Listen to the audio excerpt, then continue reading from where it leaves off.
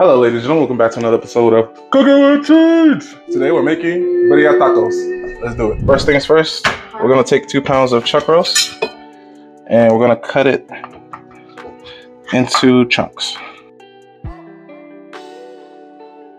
Then we're gonna take that chuck roast and put it on a rimmed baking sheet. Then to that, we're also gonna add about two pounds of oxtail. Then you're gonna salt the meat Make sure you get all sides. After making sure everything is nice and well salted, you're gonna set this to the side for about 30 minutes to an hour. Next, you're gonna take one onion and chop it up.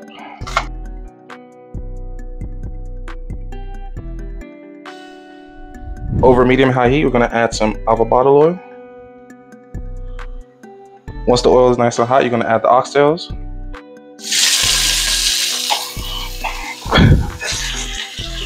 And you want to get it brown on each side. Once your oxtail has gotten this nice brown color on there, you're going to flip it over.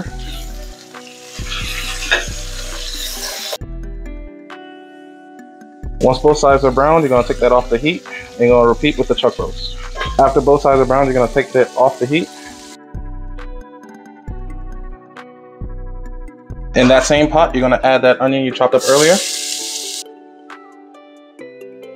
Next, we're gonna crush in four cloves of garlic. Once the garlic is nice and fragrant, you're gonna add about a tablespoon of tomato paste. Next, we're gonna add some coriander seeds and some black whole peppercorn. Next, we're gonna add three ancho chilies, dried. You're gonna take the stem off and heat them up. We're gonna add eight guajillo chilies and four árbol chilies. Next, we need to rehydrate the chili, so we're gonna add about two cups of water. You're gonna bring this up to a simmer. After it's been brought to a simmer, you're gonna let it cook for about 10 minutes until the chilies are nice and soft. And then we're gonna take it off the heat and blend it. All right, to the blender, we're gonna add the chilies and all that liquid. Next, we're gonna add some cumin, chili powder, oregano, garlic powder, and onion powder. And then I'll cover your blender and blend. Next, we're gonna add the meat back to the pot. Then we're gonna add our blended mixture. Then you're gonna add some unsalted beef broth, enough to cover the meat. Once the meat is mostly covered, you're gonna stir it, make sure everything gets to know each other. We're gonna add two sticks of cinnamon and a couple bay leaves. And you're gonna cover that and let that simmer for a couple hours or until the meat is nice and tender.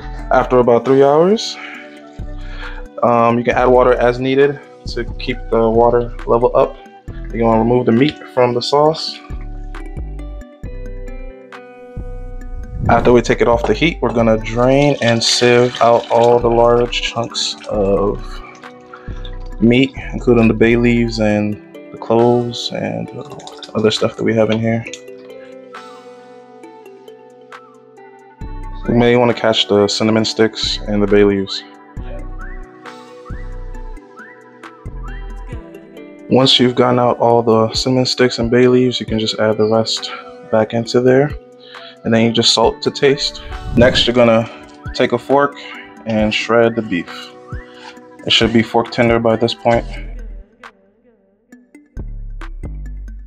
After shredding the beef, we're gonna add a little bit of salt and drizzle a little bit of consomme on there. That's what that sauce is we made earlier. And mix it all around. Next, you're gonna take a corn tortilla, dip it in the consomme, and put it on a pan to fry. Then you're gonna take some shredded Oaxaca cheese and put that on the top. Once it's starting to sizzle, you're gonna take some of that beef and add it to about half of the taco. Next, you're gonna wanna close the taco shell and fry each side. After about a minute, we're gonna flip it fry the other side until it's nice and melted. And there you have it, burrito tacos.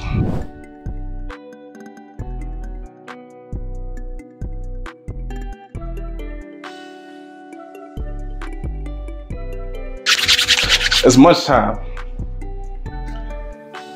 We got the burrito taco. Look at that cheese pull. Woo! Gotta dip it in that consomme.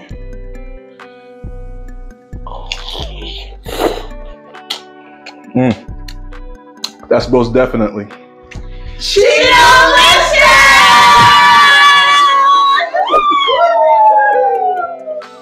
Make sure you like, comment, subscribe, and I'll see y'all next time.